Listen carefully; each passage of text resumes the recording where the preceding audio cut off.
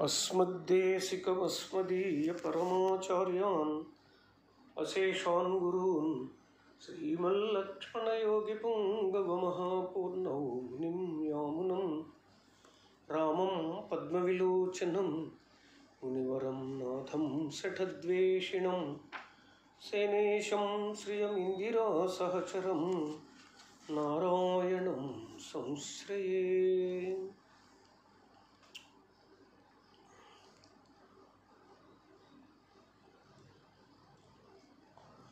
भक्तामृतं विश्वजनानुमोदनं सर्वार्धदं श्रीशठगोपवाङ्मयं सहस्रशाखोपनिषत्समागमं नमाम्यहं द्राविडवेदसागरं परिवारसमेत श्रीरामचन्द्राय नमः ఓ మనస శ్రీ శఠారి వేదంలో అవతారిక తెలుసుకుంటూ ఉన్నాం. తిరువాయుముడి యొక్క ప్రభావమును పెద్దలు అనుగ్రహిస్తూ ఉన్నారు.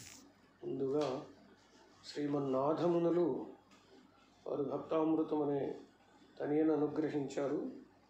అలాగే వారి కుమారులు ఈశ్వరమునులు ఒక తనియన్ తిరువజునాడెండు అంటూ వారు చెప్పారు.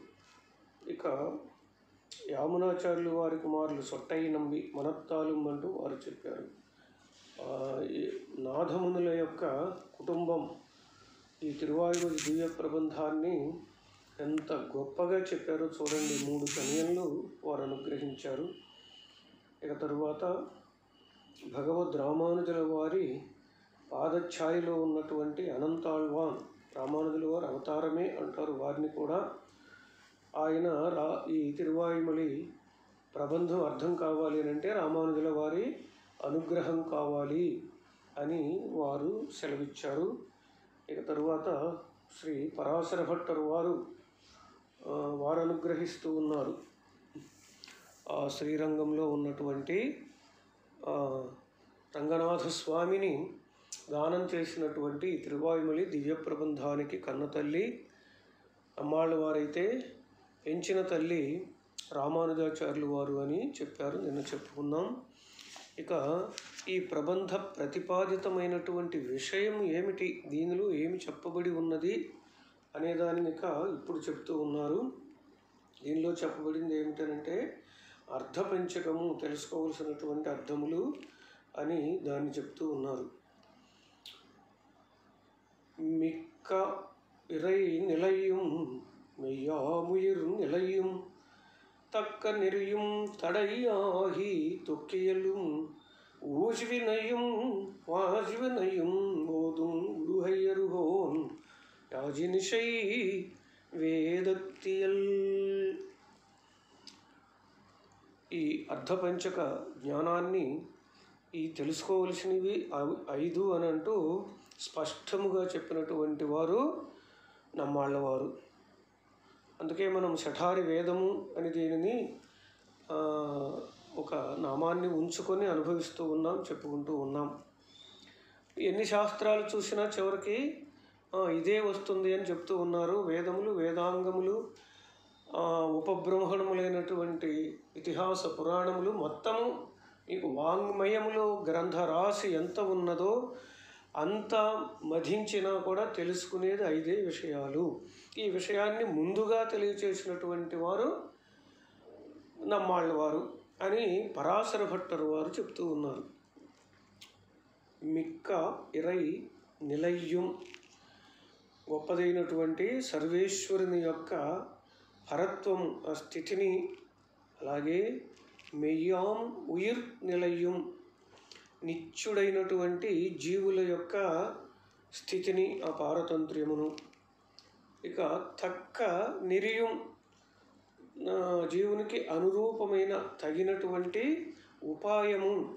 ఆ ఉపాయం ఏమిటి? తడయాహి తొక్కు ఇయలం దానికి ప్రతిబంధకమై ఉన్నటువంటిది ఆ చేరటానికి అడ్డుపడేటటువంటిది. ఊజ్ వినయం అనాదిగా ఉన్నటువంటి అవిద్యాది కర్మలు. ఇది విరోధి స్వరూపమని. వాజు వినయం పరమ పురుషార్థమైన బ్రహ్మానందమును ఇది పొందేటటువంటిది పురుషార్థము.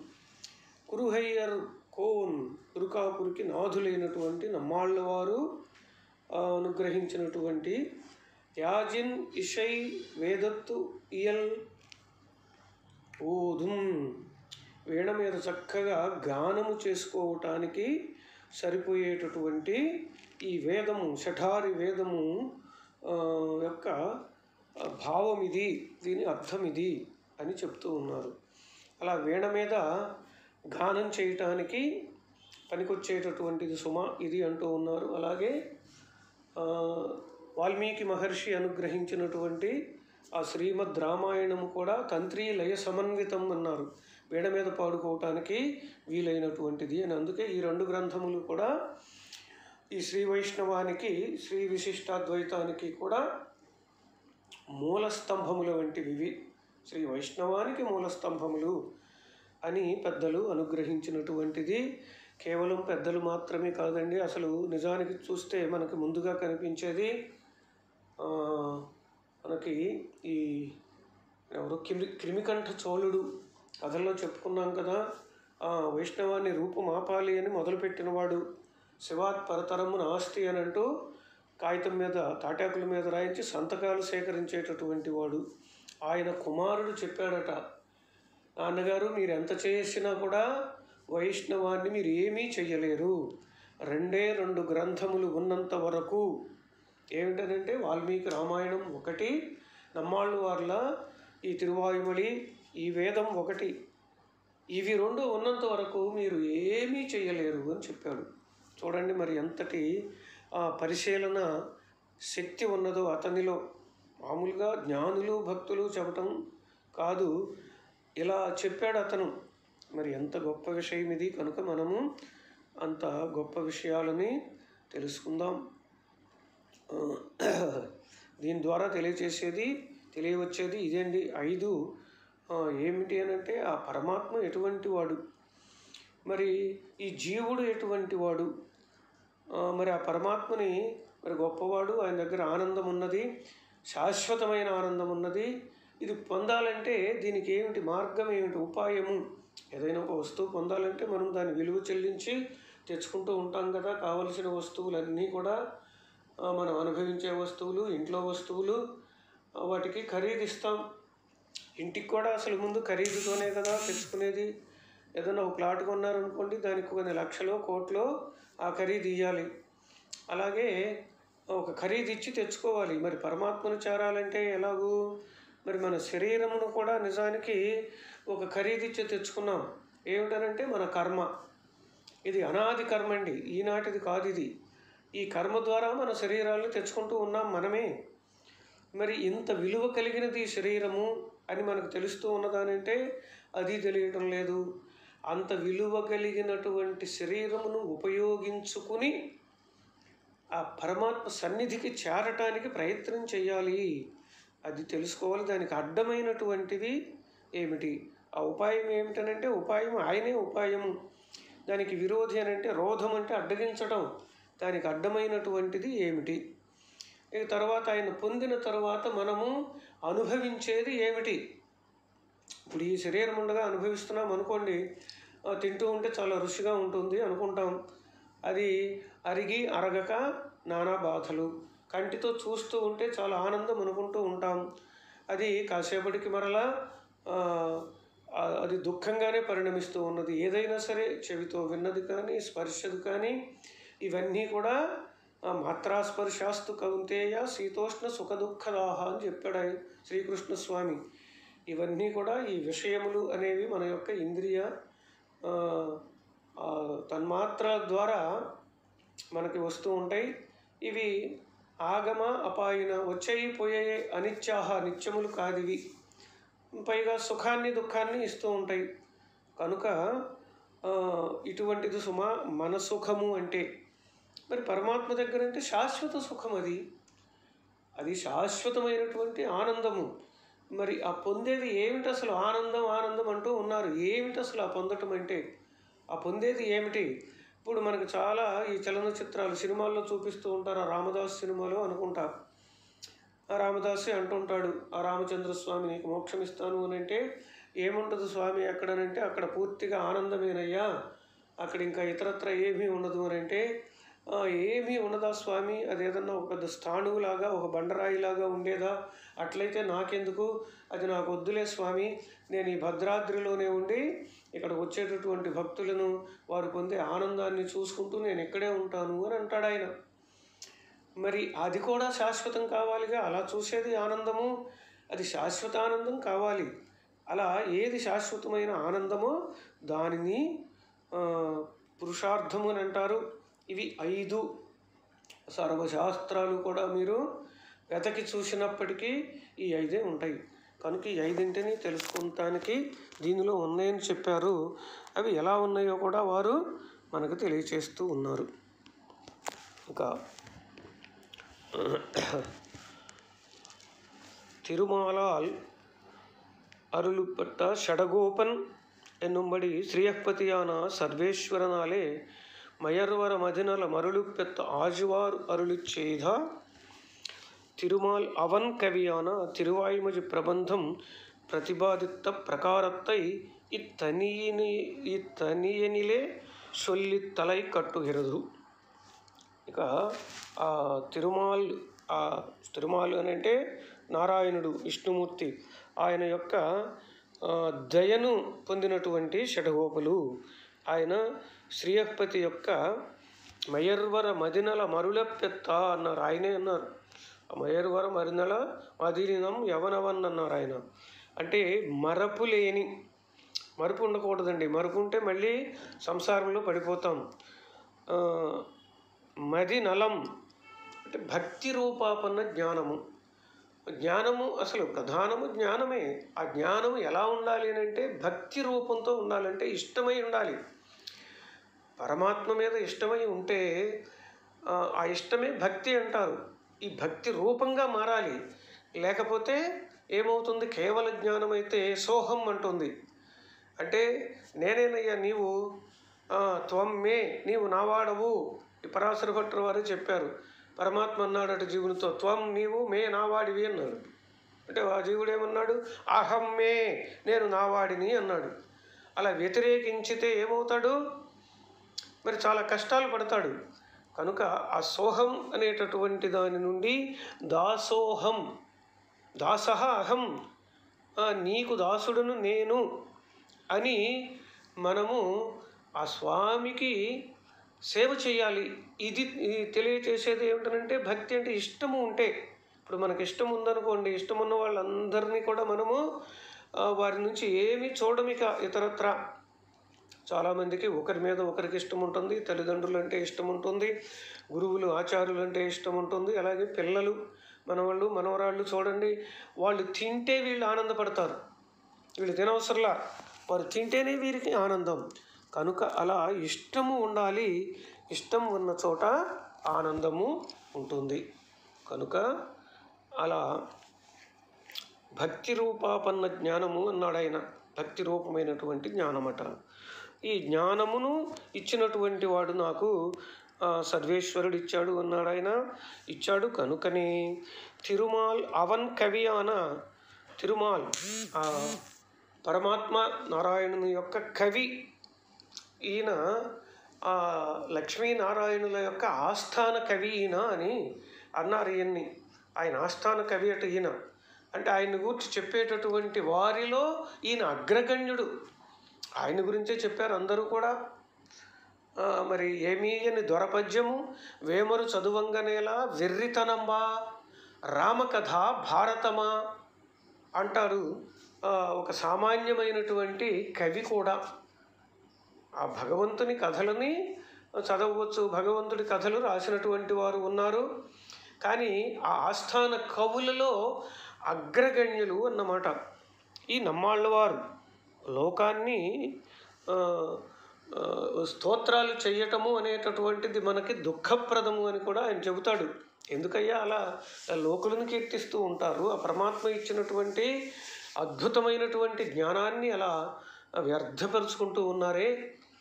పరమాత్మని పొగడండి. పరమాత్మని కీర్తించండి. మీకు కవిత్వం వచ్చినందుకు అన్నాడు ఆయన అందుకే అందరూ కూడా అన్నారు.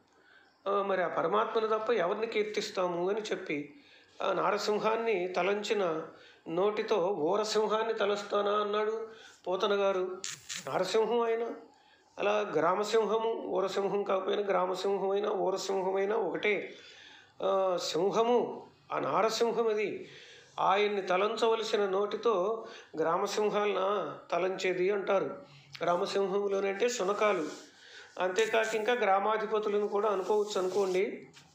ఎవ్వరిని ఇలా స్తోత్రం చేస్తే మీకు ఇచ్చినటువంటి దాని విలువ లేకుండా పోతుంది సుమా అని చెప్పారు. కనుక ఆయన ఆస్థాన కవిని అని చెప్పాడు ఆయన. ఆ లోపల మనకు వస్తూ ఉంటుంది. తెలుసుకుందాం. ఆయన ప్రతిపాదించినటువంటి తిరువాయుమలి అంటే ఆయన చెప్పినటువంటిది ఇది ఆ తిరువాయుమలికి యొక్క ఏమి చెప్పారు దీంట్లో అనే దానిని ఈ తనియం తెలియచేస్తూ ఉన్నది అని అన్నారు. ఈ ఈ- ఇప్పుడు మనం చదువుకున్నటువంటిది.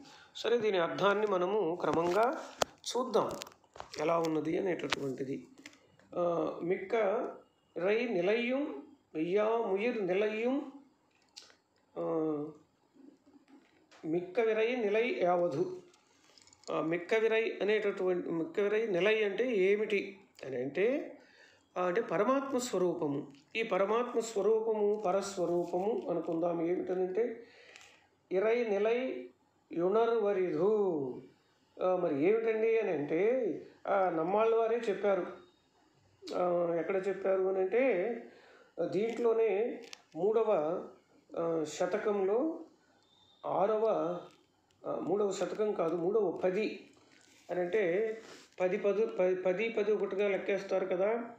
ఆ మూడవ పదిలో అంటే మొదటి శతకంలోనే మూడవ మూడవ పదిలో ఆరవ పాసురంలో చెప్పారు ఈ మాట ఇరై నిలై ఉణర్వరిదు సర్వేశ్వరుని స్వభావమును తెలుసుకొనుట అశక్యము అన్నారు ఆయన. మరి ఏమిటి మనకు పరస్వరూపం? ఏమిటనంటే మొదటి మాట చెప్తూ ఉన్నారు తెలుసుకొనుటకు అశక్యము అంటే పూర్తిగా తెలుసుకోవడము సాధ్యము కాదు. మరి కొంతవరకు తెలుసుకోగలుగుతాం. అయితే మరొక మాట కూడా ఈయనే అంటారు. ఏమని అంటే పూర్తిగా తెలుసుకోవటం కూడా నాకే సాధ్యము అన్నాడు ఆయన. ఆ పరమాత్మ తత్వమును పూర్తిగా తెలుసుకోవడం కూడా నాకే సాధ్యము అంటాడు ఆయన. మరి ఇదేమిటండి? ఒక ప్రక్కన అటు చెబుతూ మరొక ప్రక్కన ఇటు చెబుతము అని అంటే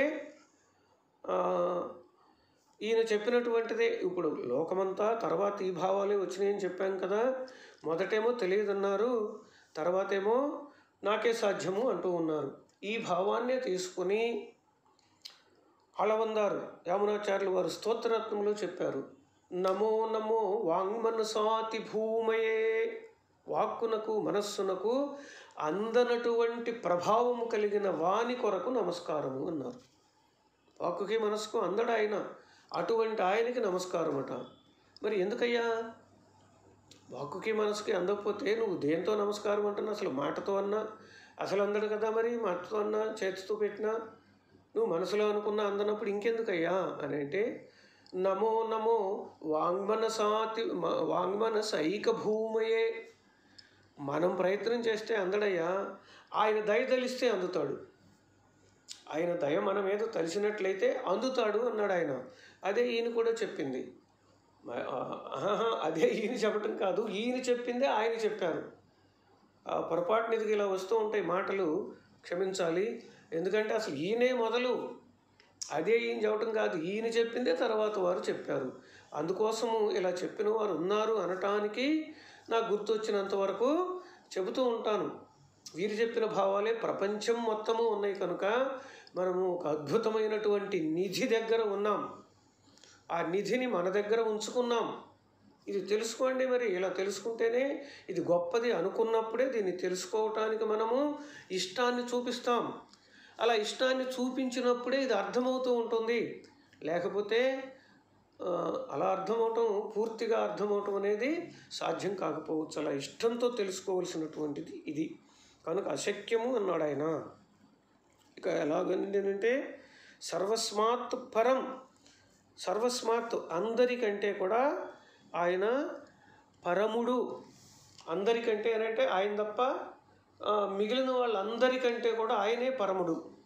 అందుకే ఆయనకి పరమ అనే పేరు ఉన్నది. పరో మా యస్మాత్ సహ పరమహ అని దాని అర్థం. అంటే పరహ యస్మాత్ ఎవని కంటే పరహ శ్రేష్ఠుడు మా లేడో. ఎవనికంటే గొప్పవాడు లేడో వాడు పరమహ వాడు పరముడు అంటే. కనుక ఆయన కంటే ఏ గొప్పవారు ఎవరు లేరు దేంట్లోనూ కూడా. అదే విషయాన్ని ఇంకా తమీశ్వరాణం పరమం మహేశ్వరం తమ్ దేవతానాం పరమంచ దైవతం. శ్వేతాశ్వతరం అనేటటువంటి ఒక ఉపనిషత్తు కూడా చెప్తూ ఉన్నది. ఇది వేదమే ఉపనిషత్తు అని అంటే. ఆయన ఈశ్వరాణం పరమం ఈ లోకములో ఉన్నటువంటి ఈశ్వరులు అని అంటే ఇంటికి అధిపతి కావచ్చు మన శరీరానికి అధిపతి అయిన జీవుడు కావచ్చు అలాగే గృహానికి యజమాని అధిపతి కావచ్చు రకరకాల ఊరికి ప్రెసిడెంట్లు ఉంటారు వార్డులు ఉంటారు ఇలా వెళ్తే ఎక్కడికక్కడ ఎందరో ఈశ్వరులు కదా. అట్లా ఈశ్వరాణం పరమం మహేశ్వరం మనం ఈశ్వరులు మనని శాసించేవారు అనుకుంటూ ఇప్పుడు బాస్ ఉండొచ్చు మనం ఉద్యోగాలు చేసే చోట. ఆయన మనకి ఈశ్వరుడు శాసించేవాడు. ఇలా వరసని ఎంతమంది అయితే ఉన్నారో ఒకరిని ఒకరు ఒకరిని ఒకరు శాసించుకుంటూ పోయేవారు. అందరికీ కూడా మహేశ్వరుడు మహా ఈశ్వరుడట ఆయన. ఇక ఆయన కంటే మరల శాసించేవాడు ఇంకొకడు లేడు. తం దేవతానాం పరమంచ దైవతం. ఇప్పుడు దేవతలు గొప్పవారు అంటారు. దేవతలు అంటే ఎవరండి అంటే జ్ఞానము కలవారండి. దేవతలు అంటే ఎక్కడో ఉండి ఏదేదో మనం అనుకున్నట్టు సినిమాల్లోనో టీవీల్లో చూపించినట్టు ఆ కిరీటాలు పెట్టుకొని అలా ఉంటారని అనుకోకండి. ఉంటే ఉండవచ్చేమో మనకు అనవసరం అది. దేవతలు అని అంటే జ్ఞానము కలవారు. ఈ జ్ఞానము కలిగినటువంటి వారు వారికంటే వారికి కూడా పరమ దైవతము నారాయణుడు. అలాగే నారాయణ పరోజ్యోతి అంటూ చెప్తూ ఉన్నారు ఇది తైత్తిరీయ నారాయణ ఉపనిషత్తు. నారాయణుడే శ్రేష్టమైనటువంటి వాడు అందరికంటే ప్రకాశించేటటువంటి వాడు ఆయన. ఆ తర్వాత మరి ఎవరికంటే ప్రకాశం ఉండనంటే పోతన గారు కూడా చెప్తూ ఉంటారు. అక్కడక్కడ మరి మా భక్త కవి ఆయన కూడా రామచంద్రుని యొక్క దైవలని చెప్పిన ఆయన సరిపోయాయంటే చెప్పుకుంటూ ఉందాం. ఈ భావాలకు సరిపోయాయి. లోకంబులు లోకేశులు లోకస్థులు తెగిన తుది అలోకంబగు పెంజి కటికవ్వల నెవ్వడు ఏకాకృతి వెలుగు. వానినే సేవింతున్. ఈ లోకముల్లో ఉన్న జనాలు లోకాలు ఈ మొత్తం అన్నీ కూడా లయము చెందిన తర్వాత తుది ఆ చివరిని అలోకంబగు పెంజీకటి. అలోకము అని అంటే చూడటానికి సాధ్యం కాని. లోకమంటే అంటే ప్రకాశము. అలోకము అని అంటే చూడటానికి వీలు కాని తమస్సు. పెంచేకటి దాన్ని సంస్కృతంలో తమహ అంటారు దాన్ని. అవ్వలని ఎవ్వడు ఏకాకృతి వెలుగు. ఒక్కడే ఒకే ఒక్క ప్రధానముగా జ్యోతి వెలుగు అంటే జ్యోతి. అలా తమ పరే దేవే అని చెబుతూ ఉంటుంది. సుబాల ఉపనిషత్తు తమస్సునకు అవతల ఉండేటటువంటి వాడు ప్రకాశించేటటువంటి వాడు. అదుగో అతడిని నేను సేవిస్తాను అని ఎవరండి చెప్పింది? పాత్ర అంటే గజేంద్రుడు. ఒక ఏనుగు చెప్పిందండి ఇది. అదిగో అంతటి వాడు అక్కడ ప్రకాశించేటటువంటి వాడు వెలుగు. తత్వం నారాయణ పరహ ఆ ఉపనిషత్తు చెప్తూ ఉంది. తత్వము ఏమిటనంటే తత్వం అంటే తెలుసుకోదగినది అది ఏదైనా సరే ఏది మనం తెలుసుకోవాలో యథార్థమైనటువంటిది ఆ పరము అయినటువంటి తత్వం ఉన్నదే ఆ పరతత్వము నారాయణుడు. అలాగే ఇక మరి వీరు చెప్తూ ఉన్నారు నమ్మాళ్ళ వారు చెప్పినటువంటివి మనిషర్కు ఆ, దేవర్ బోల్ దేవర్కు దేవావో. ఈయనే చెప్పినటువంటిది అన్నమాట ఇది అంటే మనుషుల కంటే దేవతలు ఇప్పుడు మనుషులు దేవతలని కొలుస్తూ ఉంటారు. ఎందుకు? వారు మనుషుల కంటే ఎక్కువ ప్రభావం కలవారు అని. ఈ దేవతలు అనేక రకాలుగా ఉన్నారు. ఇప్పుడు మనం చూస్తూనే ఉన్నాం కేవలం నారాయణుడిని ఒక్కడిని మాత్రమే కొలుస్తారా? అది కొలవాలని అంటే సాధ్యమా అసలు? అది ఎంతో భాగ్యం ఉంటే కానీ సాధ్యం కాదు. మరి ఏం చేస్తుంటారు? ఎందరినో వారి యొక్క ఆహార సేవనము ద్వారా కలిగే గుణములు రజస్సు తమస్సు వీటి ద్వారా రకరకాల దేవతలని పూజలు చేస్తూ ఉంటారు. ఇప్పుడు మనం చూస్తూనే ఉన్నాము. ఇంకా ఎందరో చెబుతూ ఉంటారు. విష్ణు పరత్వము తక్క తక్కినవి ఎన్నో చెబుతూ ఉంటారు. ఆ విష్ణు పరత్వాన్ని కూడా వంచించి చెబుతూ ఉంటారు. ఇక ఎందరో చెబుతూ ఉంటారు అదిగో ఆ రాహువులు ఆ కేతువులు ఆ గ్రహాలు మీకు ఇక్కడ చూస్తూ ఉన్నారు అక్కడ చూస్తూ ఉన్నారు అలా చేస్తే పోతుంది ఇలా చేస్తే పోతుంది.